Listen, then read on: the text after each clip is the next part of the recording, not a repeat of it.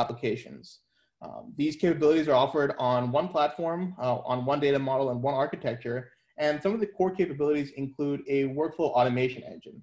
Uh, what the workflow automation engine enables you to do is take processes that were previously manual or took a you know very long time to actually go through and and track. So these are processes that were either tracked through uh, email or word of mouth or through phone calls. Um, things were that were done very manually with the workflow engines, you're actually able to take these processes and digitize them and automate them. So now you're gaining visibility into these processes. You can start to standardize how work moves through your organization. And then you can improve the overall quality of service that you're providing over the course of the work transitioning through those workflow steps um, because you're now able to gain that kind of elusive visibility that you didn't have before. A configuration management database, or CMDB, which is the second core capability that you see here, is a system of relevance. What, what that means is that the CMDB takes all the information about your business services, the applications that support them, the users, roles, and groups that are using these applications, and it combines the information into kind of a central uh, repository that can relate all that information together. And what that enables you to do is look at your business service from a holistic viewpoint and say, you know, when my business service is going down, what are the actual applications that are potentially affecting this business service? Where can I start to do my root cause analysis? Where can I uh, you know, find out who exactly the users are who are being impacted and make sure that the overall level of service um, for my end users of the application um, and make sure that the overall quality is, is being maintained. So that's what the uh, um, workflow and integrations capabilities and the CMDB capabilities really bring to the platform. And for any healthy service implementation, these are really the key uh, capabilities are uh, of importance.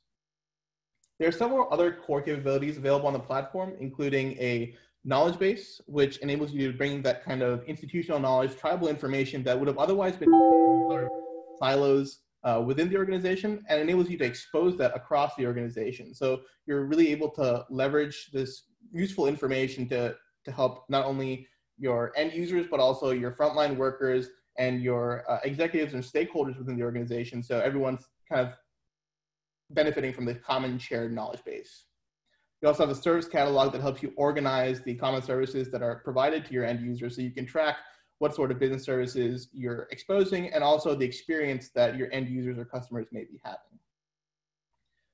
All these core capabilities are really building blocks for applications that are built on top of the ServiceNow platform. And we talk, when we talk about applications that are built on ServiceNow, we kind of talk about them along three workflow pathways.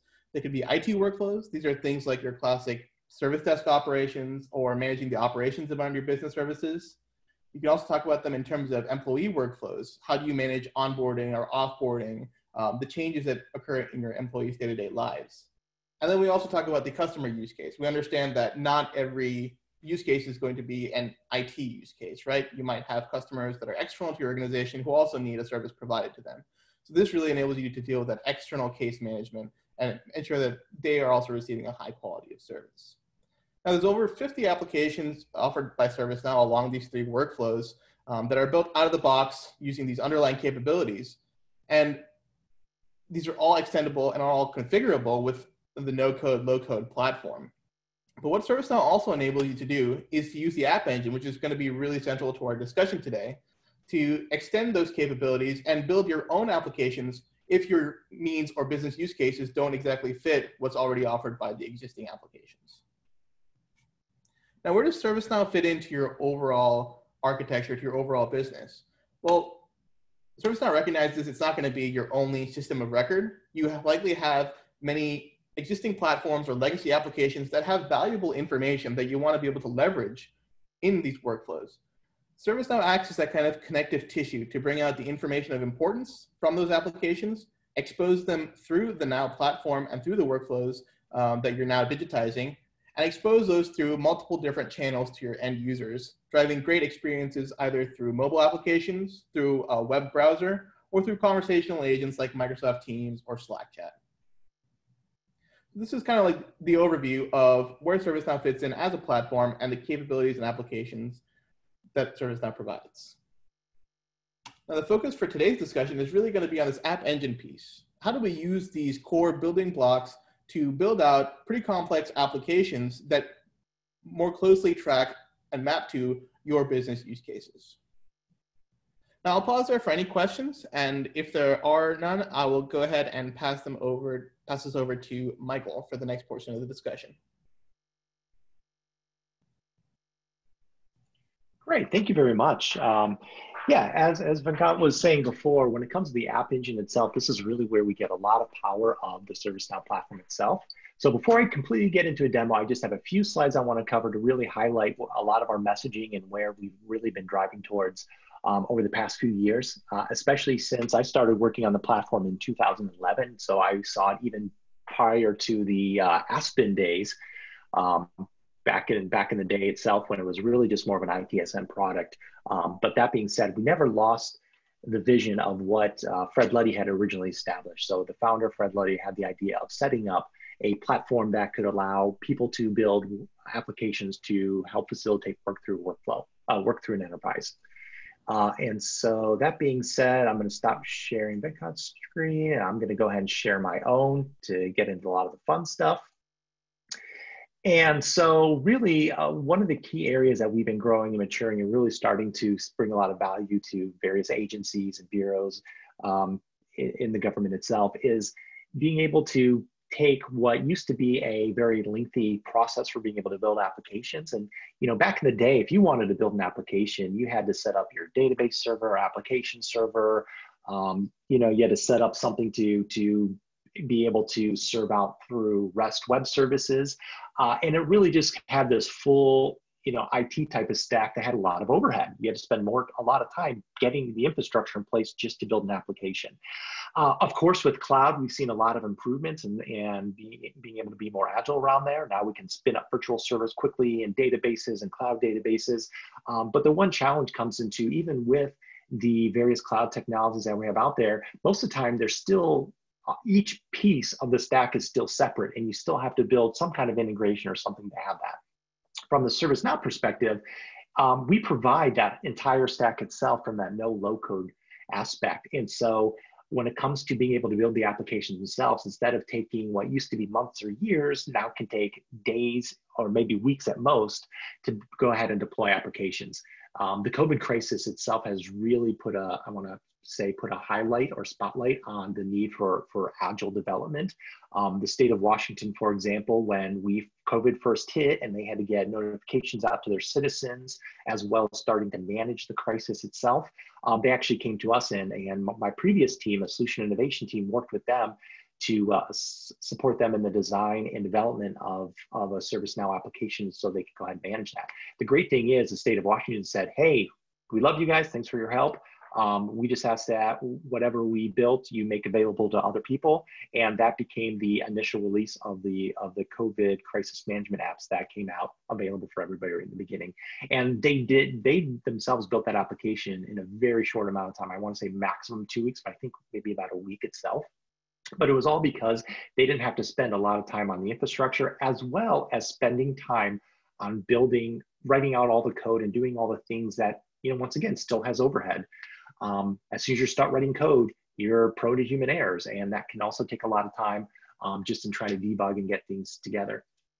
But the other big thing that we've really focused on as well is taking the concept of, hey, you know, application development used to be for professional developers, but now it's going to go be more for um, various other groups themselves of civilians, low-code developers, and professional IT developers. And ultimately, what we want to really be able to do is start to get into this collaborative environment where things are drag and drop, things are going to be um, uh, pre-built, and um, everything is more along the lines of focus on what type of capabilities you need in an application versus what um, what coding you need to put into it. And then the last thing I'll, I'll go ahead and say is the fact that um, we have a lot of workflows and integrations that are available as well. And so things like the machine learning, um, as well as the basic out-of-box integration with connecting critical systems are all there already. So we don't have to worry about um, how to hook different devices, uh, different capabilities up. In fact, um, our out-of-box, um, a lot of the times when we acquire technology, we rebuild it into the platform so customers don't have to worry about those integrations. Um, and the last thing I'm gonna hit upon as well is um, the fact that one of the capabilities that we, we came out with a few years ago that we've been heavily maturing uh, is the Flow Designer and Integration Hub aspects of ServiceNow. And so Integration Hub uh, pardon me, Flow Designer is the newer workflow engine that we came out with as a no low code natural language um, ability to build workflows. But the other thing that we want to make sure of is that even though we're starting to focus more on citizen developers or, or people without traditional IT development skills, um, we also do not want to ignore professional developers. And so things like the integration hub, for example, gives the subject matter experts or developers the ability to create their own custom actions or integrations that then can be reused within Flow Designer for the flows. Uh, and so the biggest part about that is making sure the ServiceNow platform is um, reusable. That way it can be extended quickly and easily. Um, people are able to um, you know, get a lot of value out of, of some of the work that they do. But then also we want to be able to make sure that uh, we can hit upon those various personas. And it doesn't matter if you're a citizen developer, maybe you have some development experience, um, or you're a professional developer. We, we really try to focus on all those personas. And uh, in the past, it's always been a tough thing to achieve. The great thing is that um, as we've been maturing with each release, we've been getting better and better at it as well. So that's all I want to hit upon for the uh, PowerPoint itself. Um, the biggest thing is I want to make sure we get more into to the demo and, and everything that's taking on. So in the ServiceNow world, um, here I am, of course, I'm logged into an instance, but one of the powerful aspects that we have, especially as a cloud, no low code platform, is the fact that everything is within the cloud itself or within this web browser. And so I'm not necessarily having to even create another, you know, like connection for like visuals, visual code, for example, or another IDE. This studio is readily available for me to do that. Uh, the other great thing about it as well, and this is what we started to see from other uh, other versions of ServiceNow over the past year or so as we've matured, is the ability to start taking and walking people through various applications um, or various steps in order to build an application. And so the guided app creator is a key part of that, especially from the no low code aspect. Here I'm able to start and specify, hey, I have an application. In this case, uh, I want to go ahead and do, um, uh, I want to create an application used for uh, uh reporting, uh, um, sorry, just had a lost train of thought and haven't had enough caffeine yet. Um, but I wanted to create an application for being able to uh, report um, uh, policy issues, for example. So maybe I have policies or maybe I have uh, uh various type of governance that I need to keep track of, and I want to go ahead and, and, create an application for this. The great thing about it also is that the guided app creator uh, takes us through each step um, from a ServiceNow perspective, I've got the ability to have security wrapped around my application. So only certain people are able to go ahead and use this application. So we're very security conscious in that respect. But then also I've got the ability to specify and say, hey, which type of experience do I want this application to have? And so is it the type of thing where I want to be able to do a workspace. And so think of it as somebody who's sitting kind of at a screen and needing to be able to just do work back and forth. Um, maybe I want to do that mobile experience as well. So the type of thing where I need to be on my mobile device and taking certain actions, or we have our, our regular out-of-box user experience um, with various forms of lists. And the out-of-box experience that, that we have as this classic is typically what we see here where we've got our navigation on the left, we have our lists as well as our forms right here in the center. Uh, and it's pretty much you know, a standard type of, of app experience. But the great thing about it is from a ServiceNow perspective is we've got a lot of capabilities to build various different kind of experiences. And it's all about being able to make sure that the users themselves want to use the technology. Um, you know, one of the challenges uh, application application developers have always had is they may have a great idea for an application, but if it's not a very good user experience, it's not going to have a lot of adoption. Look at mobile devices, for example. Apple came out with the iPhone.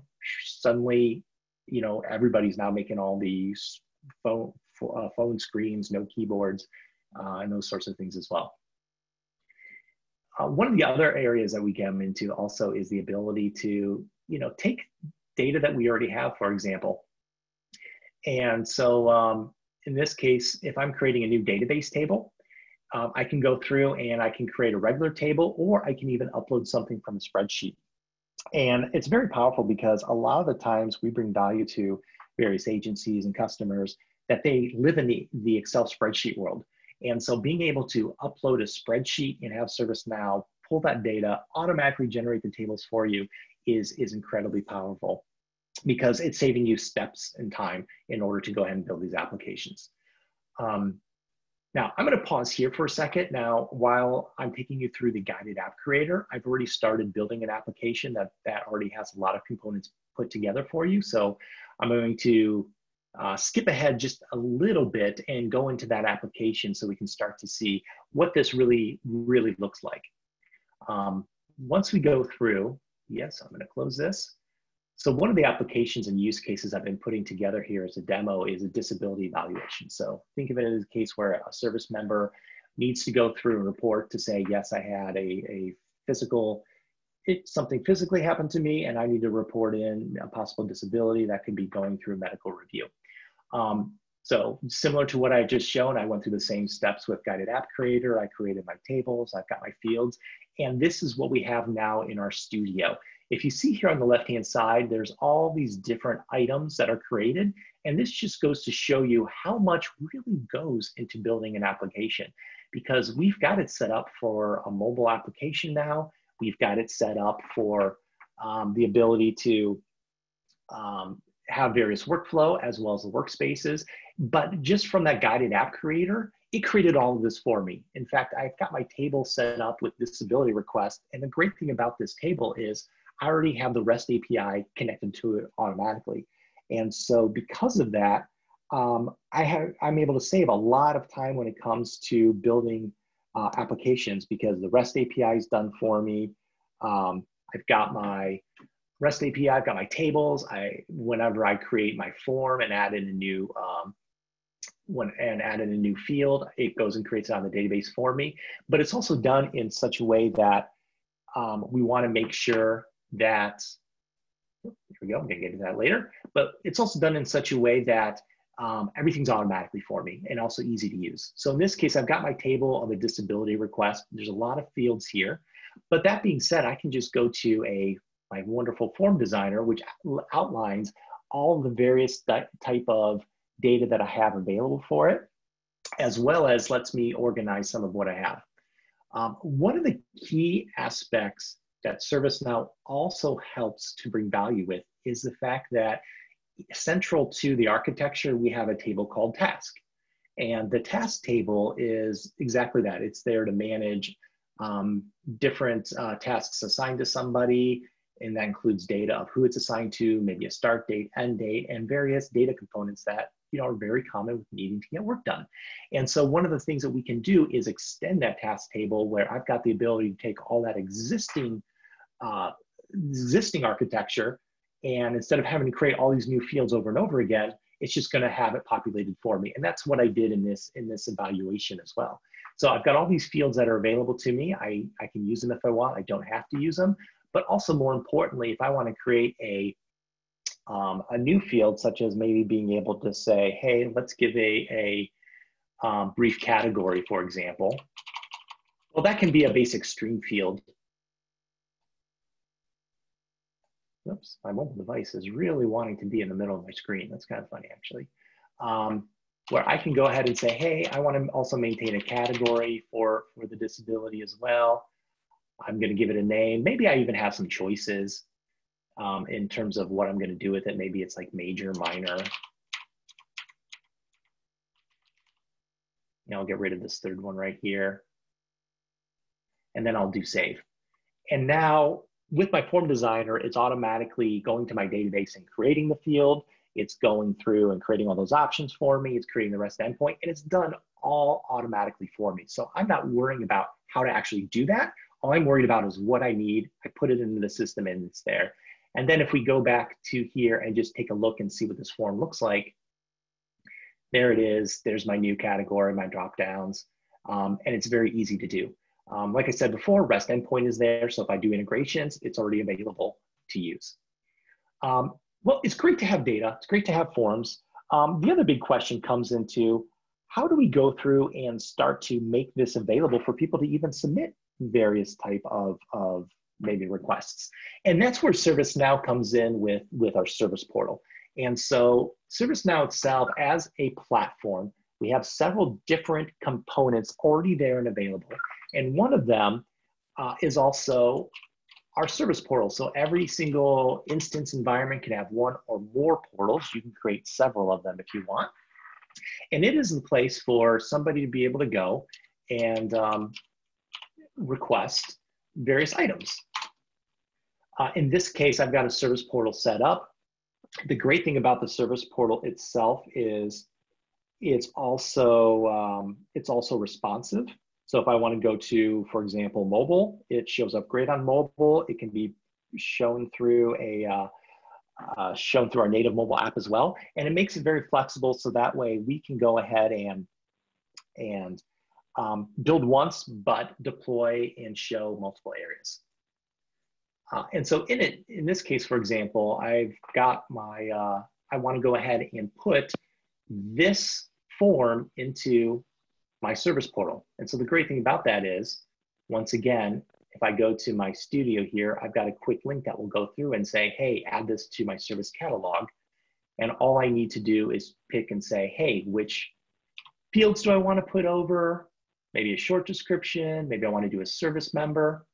I can choose exactly which category that's going to go to, and then I can save this and it you know, magically shows up. And it pretty much looks like this type of thing right here. I think I have, I hope it should show up at least. There we go, quest something. No, there we go. My search just wasn't completely bringing it up quickly. But I've got the ability to say, hey, who's a service member? In this case, I can say it's Henry Arnold, if I remember correctly. There we go. Date of occurrence and maybe a description. And you also notice I'm only getting a, a few elements of data as well. Um, part of the experience, we don't want to inundate people with asking them for too much information. We only want to get um, specific in terms of what they have. And so now we have a very easy way to go through and show that in terms of being able to select it um, and have that entered into the system, and then it can go through and kick off the process. The other thing that we have from it as well is just the ability where now that shows up in mobile automatically, um, and it's readily available. But you know, having a form is great, having input is great. The next question comes to, hey, what about just being able to manage my workflow? And that's one of the key areas. As ServiceNow has really come up in this, um, the idea with it is not only do we have data in the environment, but we want to go through and uh, manage that data, assign tasks. And so that's where we start to come into what we call Flow Designer. Uh, and so I already have a flow created. And so if I'm looking in my studio that's got all my list of items available, I can go ahead and bring up an existing flow. And in this case, I've got a flow set up so that way whenever a uh, disability request comes in, uh, it can kick off and now I can take various different type of actions with it. So first action I may have is, for example, maybe doing a task to somebody. So I can go ahead and create a, uh, a new record that's going to be related to this one that got kicked off. In this case, I have a, um, I think I called it a disability task. So I have another, uh, oh, evaluation task. There we go. So I have another um, task related list to it or task related data to keep track of somebody who needs to go ahead and do some work with it. And then I can go ahead and say, well, you know, my assignment group, uh, maybe a medical evaluation board. Uh, and then also I want to relate this to it. So I've got a uh, disability evaluation and that's going to be my existing record right there. And then I can go ahead and just have done I've now got the ability to easily say, hey, let me save it. You know, got to save every five to 10 minutes, going back to the 90s. And let me go ahead and just do maybe a test on this and run the test, and then I can see uh, what happens with it. And so the one aspect about it is number one, I'm building logic, uh, business logic, if you will, without coding. all I did was put the conditions and then some of the activities. And then the number two, I'm able to easily test and see what happens as it goes through. So in this case, I can see that a record got created, very simple, you know, it's not anything too crazy. But, you know, now it starts to come into, well, what if I want to do some other things with this, uh, with this uh, record itself? So you know, do, being able to create tasks and assign things to a group for work, that's great, that's fantastic. But what if I need to interact with various other systems? And so this is where Integration Hub starts to come in now. So Integration Hub is our central place that where we can connect to various other type of technologies. Also gives me these additional actions in my flow designer where I can say, hey, I want to take an action against something. That could be uh, uploading a file to Box, for example. Maybe I'm using Box as an archive. Um, maybe it's, something like going through and creating something in Jira if, if I'm doing maybe software development. Um, or maybe it's even extending out ServiceNow itself where I'm going to create a PDF as part of, of a custom uh, integration that I have. Um, but also I can call various other systems, be it a existing system or a custom system. Um, we can even see SuccessFactors here, Slack, Microsoft Teams, and just a whole bunch of different out-of-box integrations that we have. In fact, if you're looking for a ServiceNow integration to see if we've got something out of box, um, I recommend to go to our store, store.servicenow.com. Everything that we created for these spokes will be out there. Anything partners create will be out there, and it's a great way to um, to go ahead and uh, see what we have readily available in this case, uh, I want to do something probably not quite related to a disability evaluation, but I'm going to do it nonetheless.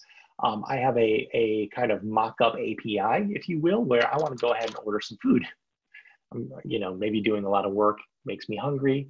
Uh, and so, you know, maybe I want to order food for somebody who's doing some of the work related to the evaluations.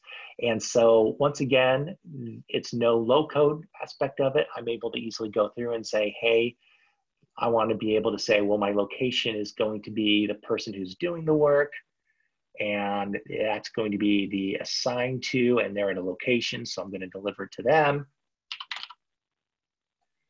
Um, I'm going to order them one pizza. I guess I could do a dozen donuts, and I can go ahead and mark that done and save and test it out. And so now I'm calling an API that's using a REST API to go out there, do food ordering, and automate it as well. And so the biggest thing is, you know, we're now interacting with various systems. We're able to test it. We're able to work with it based upon our use case. Um, you know, like I said, we can test to see what happens with it. And then when we're done, we're able to publish this, this flow and then we can move on to what we want to get onto for, for the next step in our automation.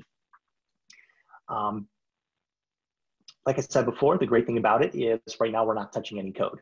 Um, but that being said, what if we do want to expand out something with code itself? What if we do want to maybe connect to a REST API or expand out some of this functionality? In fact, another great use case may come to be, well, I've got this food ordering system. What happens if these items change? Like, is this hard coded? Is this something I can reach out to serve it to another environment and pull data in? The great thing is, yes, we can. Because when it comes to building these components, it's all about reusability. Uh, and so while we try to keep things no low code and a lot of building the workflow and the applications, we are also trying to meet the personas of the developers who want to really get in there and touch more code. And so a great example that I have is when it comes to this action of ordering food, I've got the ability to have this now as my custom, if you will, pro code environment. Um, it's not completely pro code. There's a lot of helper steps that we have take going on. But that being said, uh, we still have the ability to run scripts as well as well as expand out on what we want to build with it. Uh, in this particular uh, custom action that I built, I'm calling a REST API. And if you notice, we have a specific REST step to be able to call that endpoint. We're putting in information about what the target's going to be. Uh, and then we're putting in the information, what we have for the various inputs as well as the outputs. Um, if you see here, I've got the ability to script. So if I am a pro coder, yes, I can still get into that and build out these custom actions. The great thing is I can build them, enhance the functionality, and then make that available for everybody else. Um, but like I said before, one of the one of the areas that we start to get into though is how do we make sure that we can build, extend the platform, and make sure that it's going to be flexible so we don't have to change it in the future. Uh, and like I said before, this order food API right here could have it where, hey, maybe we're changing, maybe items or various items are going to change. And instead of having to open this up every single time and modify our inputs where I'm changing the choices, maybe I can take an extra, extra step and say, you know what? Instead of having to hard code these choices here, what if I reach out to my external system, find out what those choices are, and then populate it? So that way, I don't have to worry about constantly going through and updating this every time that external system changes. Um, so a lot of technologies that we integrate with, Jira, Salesforce, they could have custom fields that are created, and we don't want to have to hard code it every single time there's those changes. Um, so one of the things we have with that is something called introspection. Um, I've got the ability to have another action built out to pull additional data in. And once I do that, I can go to my inputs on here and say, you know what? Let me change this to something that's going to be dynamic. And let me use a specific action that I already have created. So this is more of a, a pro code area where I have this get food option action available. And so we are getting a little bit more, more pro code, if you will, or I'm calling another REST API.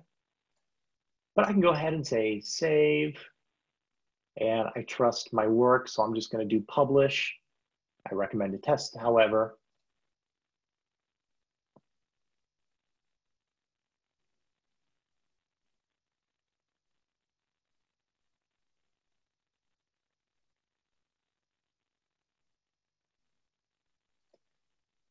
And now when it comes to ordering my food, if I do this option, you now see I have several different options there. Donuts, McDonald's, oh, McDonald's sounds good right now. Um, pizza, White Castle. Uh, and that is all generated from this additional step right here, going out and pulling the data in. And so now I can be rest assured that, hey, whenever there is a different, uh, whenever there is something that changes on that external system, it's great. I can go ahead and see it uh, without any problem. So, you know, I got into so far the the aspect of building an application. We have a guided app creator. We've got the ability to create our forms, put that forms into a service catalog. That service catalog itself can be responsive, so it can be mobile, or maybe it's going through our native mobile as well. Um, and now we're on our, our flow designer, really ex expanding out on the different capabilities that we have available. Um, but some of the other logic that we have really in place for ServiceNow is um, various other type of capabilities, such as things like decision tables. And in the ServiceNow world, we're always trying to make sure that what we build is flexible. What we, what we build, you know, is able to change to whatever type of data conditions that we have. And so as we're going through and building out these flows, so to speak, and, and our logic, we've got a lot of different capabilities in the sense of, hey, if we want to run an if statement to, to, to do something um, based upon certain conditions, or if we want to make a decision. And decisions are very powerful because we've got these things called decision tables.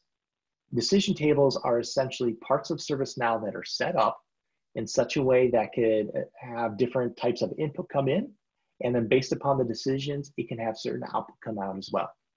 And so we're able to have complex logic, but the complex logic itself starts to end up getting um, a little simpler in terms of how we start to put it together.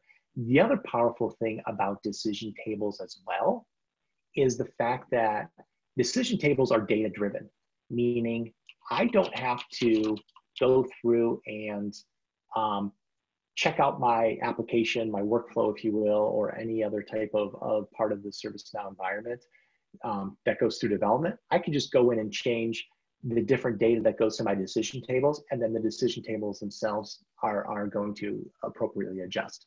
That way it's now data-driven workflows and not trying to you know, hard code various logic that we have. Um, decision tables are something that's a little bit newer, I think, in the past year in terms of what we've come out with ServiceNow. And it was really that recognition to say, hey, we know customers are using a lot of tables to essentially help drive the direction or maybe logic in these workflows. So why don't we just have that capability as, as a platform capability instead of people having to build all this stuff themselves? Um, Flow Designer, in when it comes to the no low code aspect as, as, well, we talked about the integration hub, the ability to extend off those integrations. Um, and then there's also a lot of different type of, of parts of flow designer that we also start to get into. And so one of those areas now even starts to get into, well, what about calling subflows? And so going back to the idea that we are um, able to uh, extend out the platform itself, we could have a primary flow that is running for various type of, of um, you know, maybe various type of triggers or maybe various type of schedules. Or we may want to extend out the use of the platform where we can go ahead and say, you know what, we need to go through and create a, a flood, uh, a subflow available for it. And so we've got the ability to go through and pull in extra data uh, or pull in extra type of logic based on these subflows. So that way we can start to compartmentalize what we want to build and put together. Subflows are very powerful because you can go ahead and call subflows from any part of the platform. Um, but then we also got the ability to send out um, data inputs into those, get the data inputs back, and then able to, to work with these various subflows um, and be able to, um, once again, make it compartmentalized and easy and modular to work with. So one of the great areas that I've been working a lot on the subflows lately comes about more from uh, what we've had, what I've had related to um, some PDF and, and box file integration as well, where uh, if I go through, I think I have it here.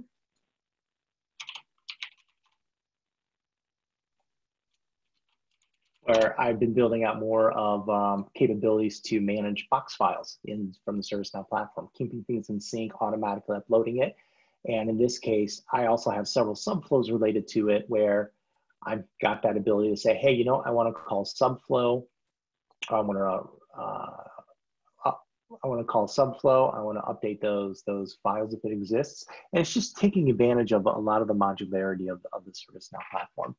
Um, the great thing also about when it comes to using the flow designer is the fact that not only do I have all my various conditions here for running these flows, so I can have it when something's created, I can run it for a schedule, um, I can have things related to service catalogs or maybe inbound email.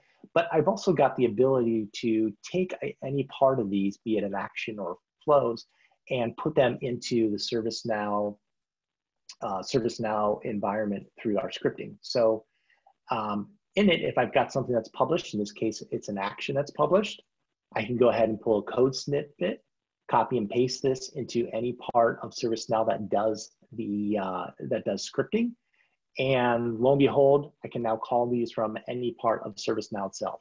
It's very, very powerful because once again, we're trying to stick with the idea of the no low code platform, but we also are giving a lot of flexibility into, you know, calling various capabilities of ServiceNow. Um, if we if we do need to touch the code.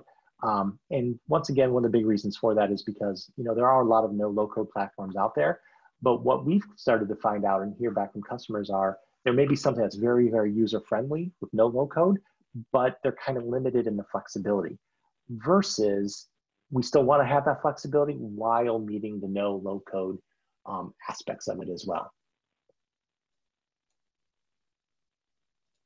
All right, so I got through a lot of information in a, uh, in a fairly short amount of time. Um, what I don't know is if we have any questions that have come up before. Oh, someone saying, "Well, now I'm hungry." That's fantastic. I'm hungry too. Um, Michael, so uh, we've answered a lot of the questions so far in chat, but I think one of great. the uh, current questions that keeps does keep coming up is uh, regarding integrations. So I was wondering if you could. Um, I don't know if it fit, exactly fits in with this within this discussion, but if you could maybe touch on just how integrations are done with ServiceNow really quickly, um, that might help give some kind of overview guidance to uh, to folks who have questions around that. Yeah, absolutely. Um, and so, uh, you know, with integrations itself and Integration Hub, it's kind of interesting because we talk about Flow Designer as a capability and Integration Hub as a capability for, for managing all those integrations. In reality, um, Flow Designer and Integration Hub are pretty much, I almost want to say, almost a single product in the sense of a user experience, because all these integrations that we have are all these actions in Flow Designer, um, or also known as the spokes. It's kind of that logical unit to be able to say, hey, this is this is uh, something that here that that we have. So um, we've got the ability to um, use out-of-box integrations. And so if I load up a certain spoke, I may see it over here under my installed spokes where I can say, well, you know what? I want to do something with um, Jira, for example. I want to go through and you know build a table here. Oh, I don't have a lot of actually activities there. Or maybe I want to do something with Box. There we go. I'm going to look up a file ID here's my inputs that I have for my file ID, and then I can, and then it'll reach out to Box and then go ahead and, and pull that information over. But the big question comes to, well, what if I, what if I have something I want to integrate with and we don't have it out of box? Great, that's no problem. That's where in Flow Designer, we can say, hey, let's create a new action. Let's call this my new integration.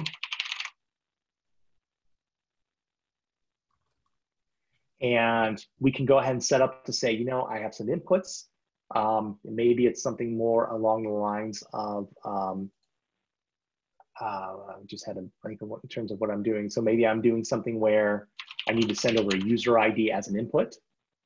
Um, but then also I can say, okay, what's the next step in my integration here? So I'm getting some inputs, maybe a user ID.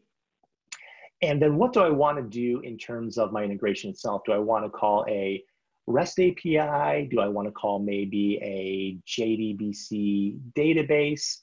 Um, what do I want to do?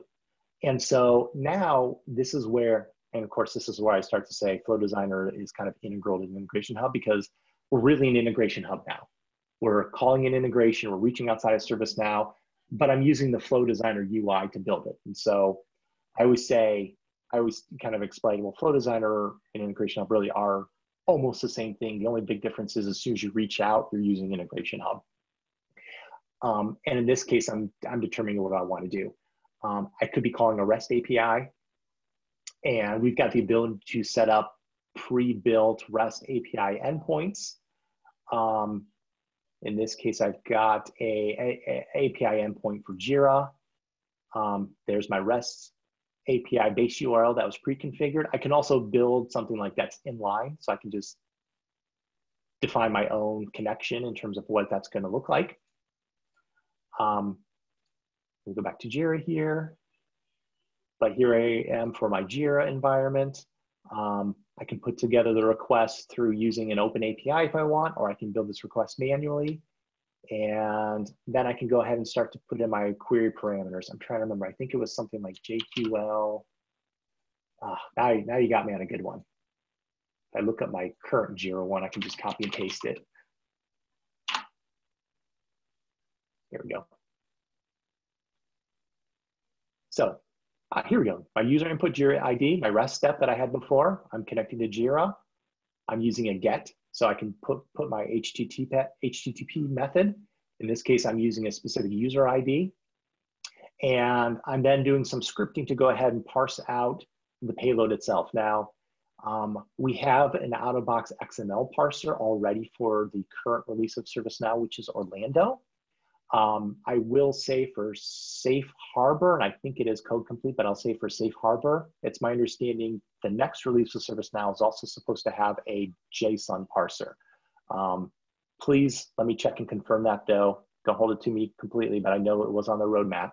Um, but the biggest thing is the fact that we're trying to make it easier and easier to work with everything. So in this case, I'm calling a REST step, and then I've got to parse it out. In this example, I just did some scripting to parse it out. It's not too difficult using JavaScript. So if you're a pro coder, runs great. Um, and we already have the step to call the, the REST API itself. And then of course I can run a test just to see what happens. In this case, I think I have admin and I can see exactly how the data comes through and processes. And so now I've got this integration built where I'm taking a specific input, I'm calling a Jira environment, my demo environment, and I'm getting my data back. And I can see what the schema looks like. It's kind of ugly, but you know I can still see it. I can see the, the uh, response status. And now I can go through and start to leverage this integration. And I can do it in a few different places. I can do it in a flow. So I can take another flow and call this as a step. Um, or another area that I've really started to get into as well has been remote tables. So remote tables are wonderful because you see data that's in an external system without saving it in ServiceNow. And in this case, I have my Jira stories that I'm populating and this code right here that looks kind of ugly, I'll admit, is just simply from this right here. So I just copied and pasted this out, put it into my, my script area there that I have for my remote table, and boom, I got my data. Now, when I have my Jira remote table, oh, well, it's not showing because I don't think I have any. As, as that user, Michael Slobonic, I don't have any data, but if I over, switch over to admin, I now have it. So I'm leveraging integration hub. I use Flow Designer to build out the integration. Um, integration hub is the piece that's being called. And then I, in this case, I use my remote tables to actually call that action step to, to populate my, my Jira data itself. And like I said, it's kind of neat. This is a remote table because the data is not being stored on the database. And so um, Flow Designer and Integration Hub as our, our newer capabilities over the past couple years um, we've had other integration mechanisms in the past, but going forward, the roadmap is to keep building out the maturity and integration capabilities within the Flow Designer UI. And so when it comes to all the improvements, for example, the JSON parser I talked about, um, that's going to be here. Um, any other new integrations that may be connecting to various data sources, that's going to be here. Um, and so it's worthwhile that if you're if you're someone who's got a lot of older integrations it's worthwhile to start looking at number one building your new integrations here in flow designer and integration hub and then number two looking to see when you should start migrating things over because this interface is far easier to work with um, and faster and, and easier to build as well. I can test it out. Once i'm done i can publish it. I can put it in flows. I can call it from the script and um, just a lot of capability so I hope that answered your question around the integrations because uh, that's a big one I get in a lot of conversations.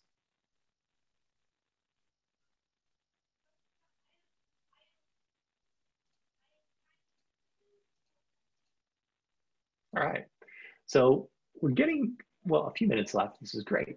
So we've got on the integration aspect in terms of, hey, we've got Flow Designer set up. Um, we've got uh, our application set up. Uh, we've got various integrations now. Uh, you know, what else can we do with this application? And the other great thing about the application itself, when we start to really look at a lot of the capabilities, we now start to get into some more of even our machine learning um, or maybe our virtual agent itself. And so, as I said before, this is the studio.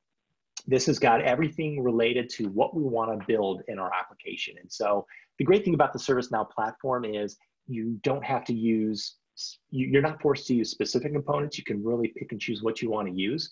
And the other thing to keep in mind is all the applications ServiceNow provides are actually all um, all available in, the platform aspect itself. So every application you use, be it IT or HR, it's using these components. It's already there.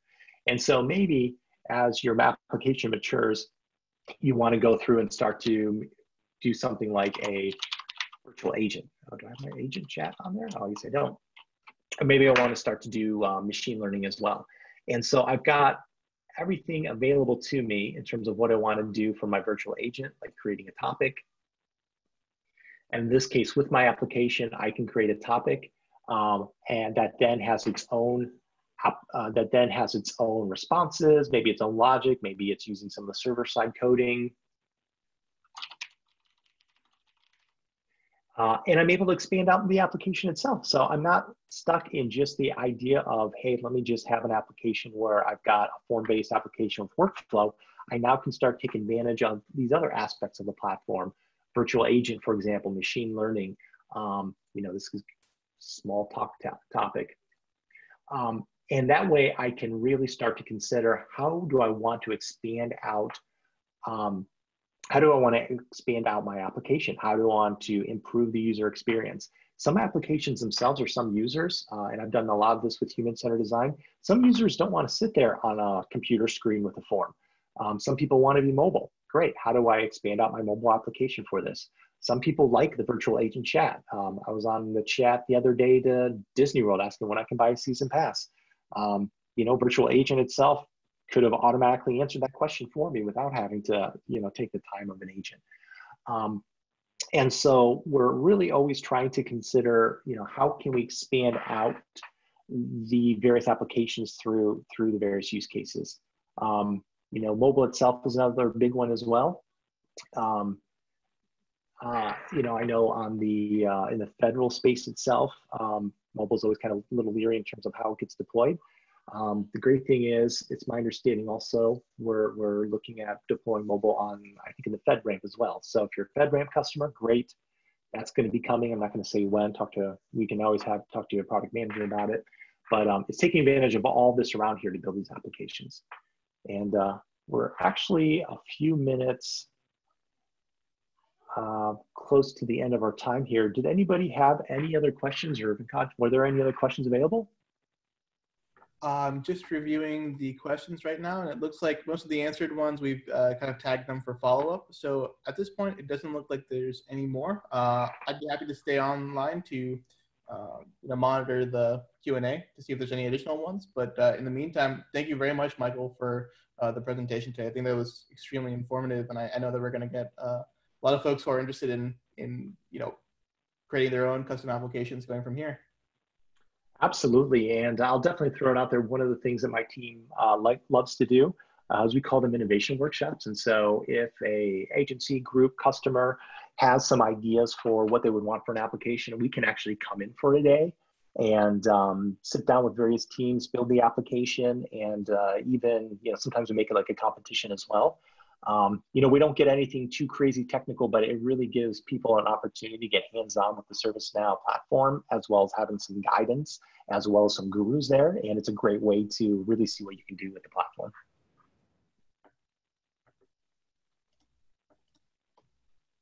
Absolutely. Thank you very much, Michael. And thank you to all of our attendees for joining. We really appreciate you taking the time uh, to uh, attend these sessions and to have a conversation with us and be so active with the uh, question and answer and chat. Um, I'll just let everyone know that uh, upcoming next week on our session nine is ServiceNow security operations, security orchestration, automation, and response. I know that there was a few questions related to that during this session. So uh, very much looking forward to having everyone join us next week as well. So thank you all and thank you, Michael. Thank you. Everyone have a great day.